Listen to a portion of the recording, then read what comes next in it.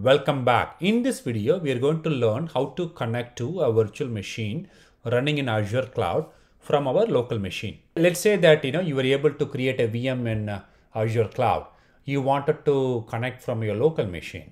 Okay, so how would you do that? That's exactly what we are going to learn in this short video. So if you look at this diagram, uh, so this is the Azure virtual machine running and this is you and then you have your laptop. So how are we going to securely connect to our virtual machine running in Azure cloud? Okay, so if you look at the prerequisite, I do have my VM up and running. That is actually this one. So you can see here, this is my virtual machine running in Azure cloud. And then I also have uh, downloaded my pem key as well.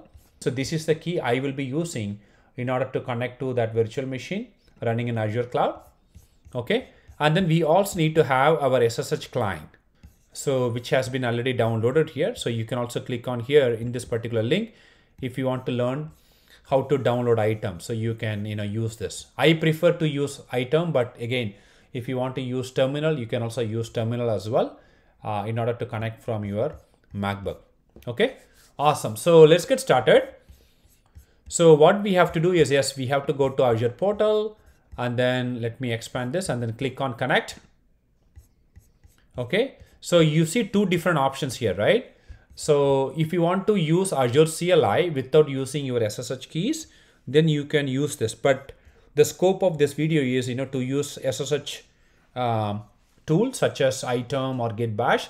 So let's select this one, select.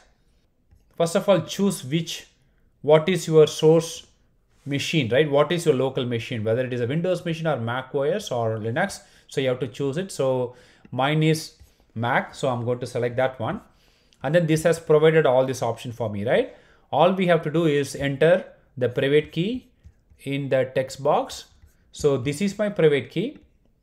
Okay but make sure your private key does not have any write access. Okay so how you can do that? You can maybe copy this particular command okay? So when you do that this will ensure that your key is having only read only access okay? So that is also mandatory for mac operating system okay? Uh, but anyway i already took care of that so i'm going to copy the key and then paste it over here. Enter. There you go right? You see here? So this has provided me all the commands for me in order to perform. So just copy that and then make sure you are actually in the downloads directory. Uh, that is where i have downloaded the keys and then enter. Wow. Do you all see here so that's it right so i'm actually connected to my uh, Ubuntu VM running in Azure cloud. So yeah, so it is actually straightforward. Only thing, you know, people may sometimes get confused is which option to select. Once you selected, and then you can choose your source local machine, your local machine. Uh, depending on that, you can perform the operation. But let's say you're using a Windows machine.